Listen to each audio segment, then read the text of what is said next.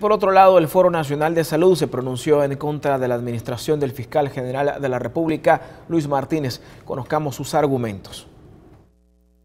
Él es el, el jefe de la cueva de Alibaba. Corrupta y torcida. Con estas dos palabras, el Foro Nacional de Salud describe la administración de Luis Martínez frente a la Fiscalía General de la República.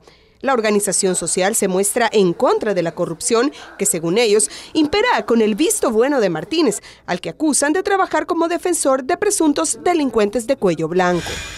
El fiscal ha tenido un, papel de encubridor, lejos de investigar y esclarecer eh, crímenes, crímenes como el robo de 80 millones de dólares de Francisco Flores, crímenes como los de Falcos de Enrique Raiz, crímenes como los de Selenel, ¿verdad? Que además son actuaciones inconstitucionales.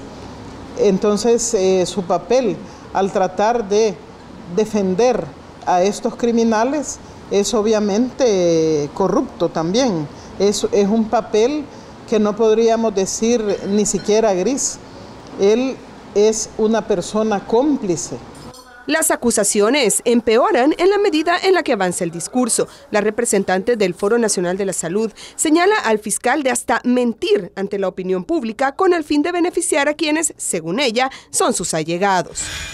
Repudiamos la actuación del fiscal general de la República, porque él ha buscado todos los elementos que le permitan la exoneración definitiva, el sobreseimiento definitivo de los ladrones, aún eh, inventando elementos que no son.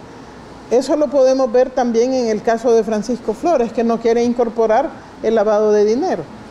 O sea, eh, que él a lo que se ha dedicado es a poner las cosas, a omitir lo que tenga que omitir, a inventar lo que tenga que inventar, con el único objetivo de convertirse en el defensor de los ladrones. Pero en las acusaciones contra la administración de Martínez, el Foro Nacional de Salud no está solo. El trabajo del fiscal general también ha sido duramente señalado por Iniciativa Social para la Democracia, otras organizaciones sociales y diversas fuerzas políticas del país. Ahora el FNS pide enérgicamente a la Asamblea Legislativa que no contemple reelegir a Luis Martínez, que en diciembre de 2012 prometió que bajo sus manos la Fiscalía sería fuerte y justa.